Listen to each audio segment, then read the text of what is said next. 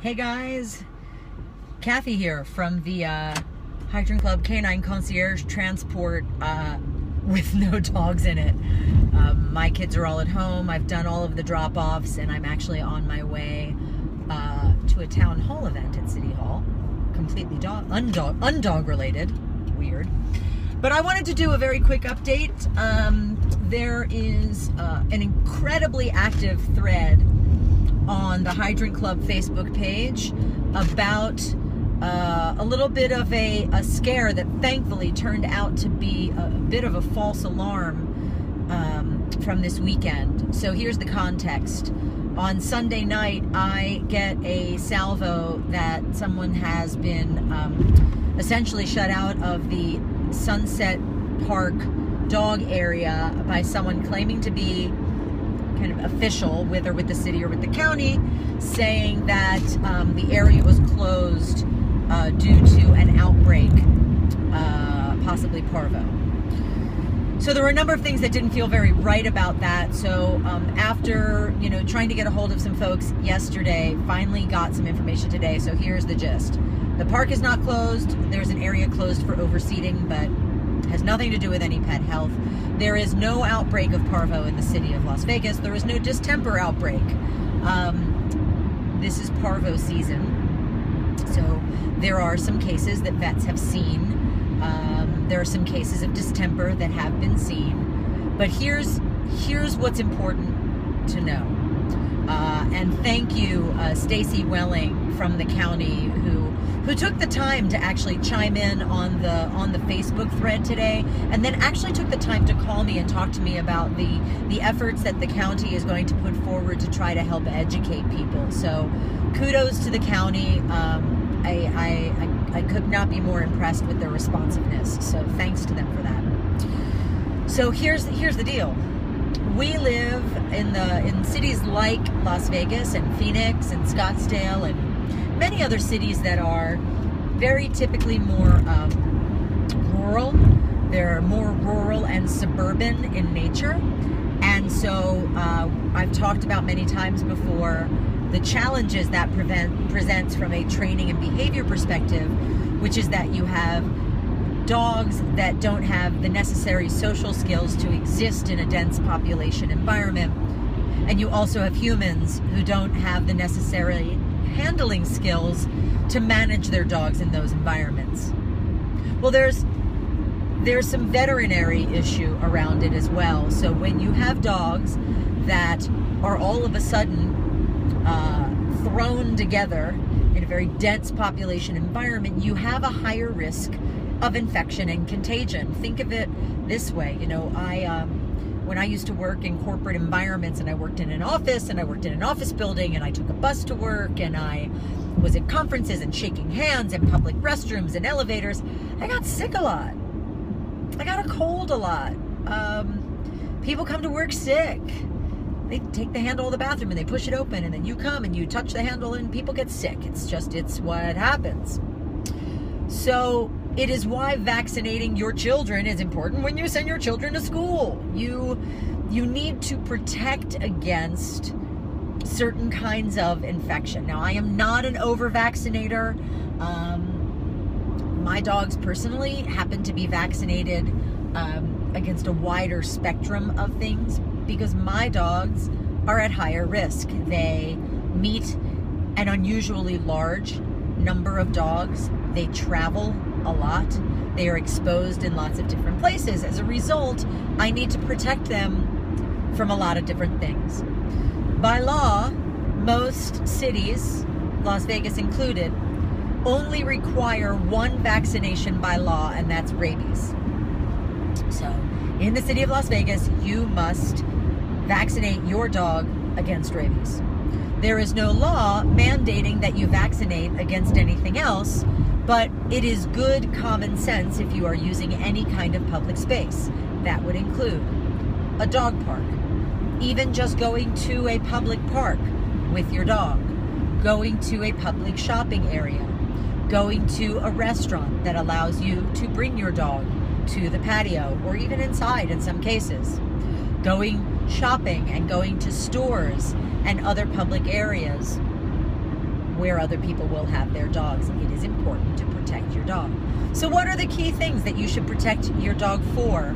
Um, there's a handful that we require at Hydrant Club and that I think are just good common sense, and most of the vets with whom I have spoken would concur. So, beyond rabies, you also have Bordetella. Uh, Bordetella is something that you also commonly hear called kennel cough. It is an upper respiratory infection, uh, prominent. Uh, you get a lot of brachycephalic dogs, so dogs with constricted muzzles um, tend to suffer a lot from these uh, kinds of, of uh, infections. Uh, they are more susceptible. You also have distemper and parvo, uh, both of which are seen here in, in this city. Parvo is a particularly persnickety issue because it is a particularly hard virus to kill. It can lie dormant in soil for a very long period of time, for years even, and then reactivate. And one of the things that's been explained to me by a, a local veterinarian here is that you know, we used to here have very hot, very cold, very hot, very cold, very hot, very cold, and that was kind of the, the back and forth of temperature. And so a lot of viruses would die off. Well, now you have more temperate weather and you have these spikes of warm weather when there would normally be cold, and then you have these bouts of rain. And so you have these viruses that don't really die off and then every time it rains, they they reactivate. Um, uh, I was talking with someone who was with a veterinary hospital in Arizona and said anytime a monsoon came through, you know, in the week or so after, they would often see a rise in parvo cases. So, parvo is particularly dangerous to very young dogs, uh, puppies, to geriatric dogs. Think of the populations of humans who are most at risk from things like the flu uh, people who have immune disorders, small children, young children who don't have fully developed immune systems, as well as the elderly whose immune systems are sometimes compromised. So, when you think about vaccination and why it's important, it's not just important for your own dog, but it's also important in a group environment to protect those for whom these protections could be it could be a life-threatening situation. Um, just because your dog is vaccinated against something does not mean that it will not contract that illness. This is also very important to remember.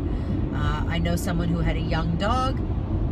Uh, that dog was fully vaccinated against parvo, ended up getting parvo from his own backyard. How's that for a kicker? Um, he tried bleaching, but the problem is when you um, uh, introduce bleach to organic material like dirt, it makes the renders the bleach inert, so it doesn't actually do anything. So you just kind of have to rinse it away. Uh, he ended up moving so that his dog wouldn't wouldn't get infected again. So, rabies, distemper, parvo, bordetella, those are the big ones. We are also now at Hydrant Club requ- requiring canine influenza, and here's why. Um, I received a report from a colleague in Los Angeles who had received a report from the vet with which they work who had been given information from the Department of Health. So it comes from a legitimate uh, health organization in Los Angeles. There is a dog that was imported from Asia in March of this year, and that dog was carrying the strain of canine influenza, which hit Chicago last year. It's incredibly virulent. It's very, very um, it, it, it passes very, very quickly. It's very, very contagious. It, I don't believe it goes cross species, so humans don't get sick from it, but uh, cats can also catch this same strain. Uh, over a thousand dogs in the city of Chicago were impacted last year. I know a number of dog facilities that got shut down for days on end because they couldn't control the contagion. Because the problem is, is that the dog is most infectious in the first, I think, four days after it's been exposed when it is shedding the virus, but it is completely asymptomatic. So you have a dog that looks healthy and is acting healthy, but is shedding virus and contaminating all the dogs around it. And then the dog gets sick, and the only way to, to deal with it is like a 21 day quarantine, which is kind of a pain in the ass for everybody involved. So, um, I am now recommending to all members of the Hydrant Club that they get their dogs vaccinated for canine influenza. And so for members of the club, we've actually, there's a post, I've pinned it to the top of our Facebook page so that you can have that information. And, uh, and, um, yeah, that's pretty much it. So, no, no, there is no outbreak in the city of Las Vegas at present time. Um, there are cases of distemper, there are cases of parvo, but they are not widespread. It is not widespread contagion. There does not seem to be any centralized uh, area of infection or any large pool uh, of, of, of dogs that are infected. There is no single vet that is seeing a large spike. Um, you know, we are a very spread out valley. There's no single vet that sees everybody. So I think it, it would take a pretty serious contagion for us to see something of that level. Um, the dog parks of the city are open. Um, and there is no area that has been closed for any any kind of contagion. Get your dogs vaccinated. If your dogs are not vaccinated or you've got some issue with vaccination, you can do a titer test. Uh, titers tests, uh, it's a blood test that uh, the vet can run that will test the antibodies in your dog's system to see if your dog is protected from specific illnesses. You need to run a titers test for each of the illnesses that I have mentioned, um, and those are spendy. So, um, if cost is not any object to you and you're really anti vaccine, um, you know, by law, you still have to do you know, you still have to do rabies, so you're still going to be stuck doing that. Um, but apart from that, see if these people are going to let me over. Because I forgot I have to exit at Rancho. Come on, let me over. Look, people are letting me over. Yay, nice people. Uh, look at that. Thanks, everybody.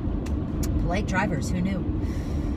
Must be something in the air. Um, so yes, so uh, check your dog's vaccination level, your vaccination records.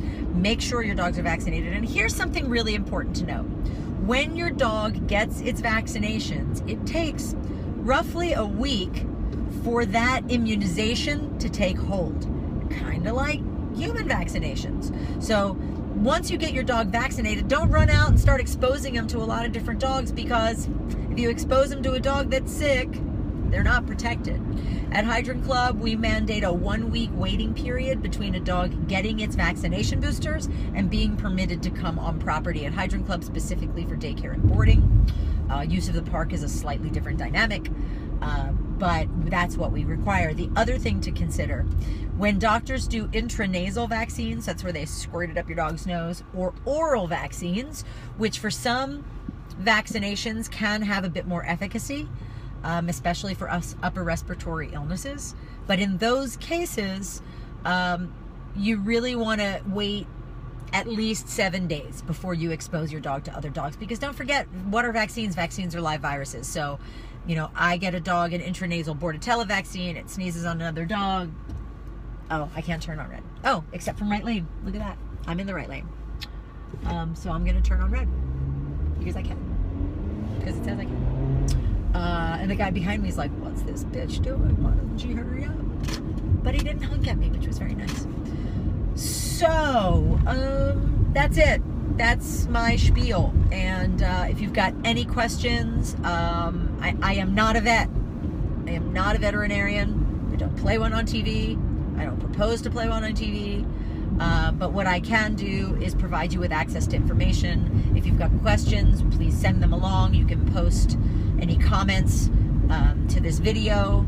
Uh, I will do my best to see about getting you some information. And uh, I was thrilled to know that the county is actually, um, you know, looking to provide some some PSAs about vaccinations for your dog. So super cool. Uh, yeah, that's it. Thanks for tuning in, you guys, and it, more later.